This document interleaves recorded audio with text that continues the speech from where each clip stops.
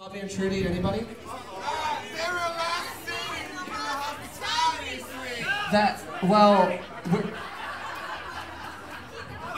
we're gonna, because this is taking a?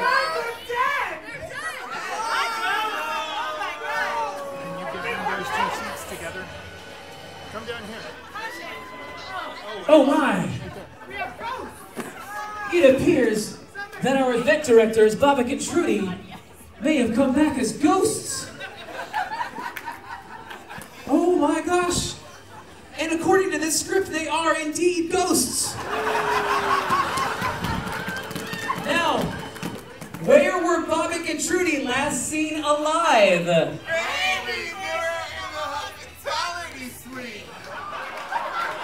Thank you. I believe you said maybe they were in the hospitality suite. Well, I can't let this go to rest. I am the chief detective on this. I need to examine the crime scene right now, so I will be back.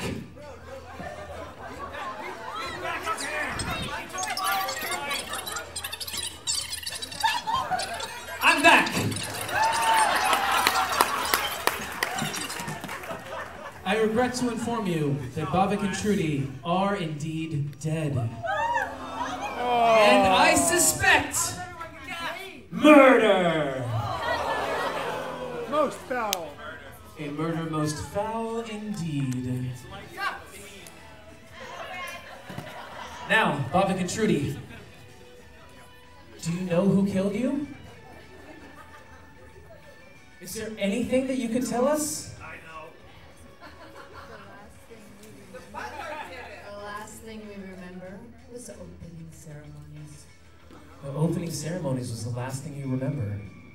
Okay, that's good information. I think we can all noodle with that. So here's what we're gonna do.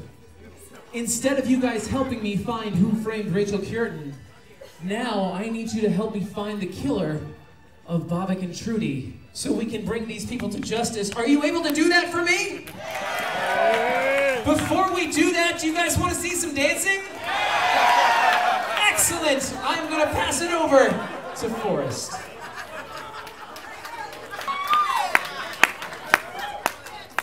that's just really unfortunate. I, I know that we all mourn the loss of the, uh, the physical form of Bobby and Trudy, though their spirit remains with us. You know. Are we still getting paid?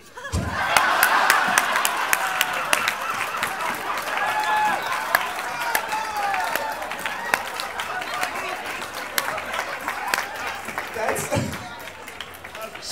Should, we, should, we, just end it now? Is that it? Is, is the murder solved? All right. Uh, it was Deborah in the library with the candlestick. Um, so, on that note, we are going to have a Strictly contest. Does that sound good to you guys?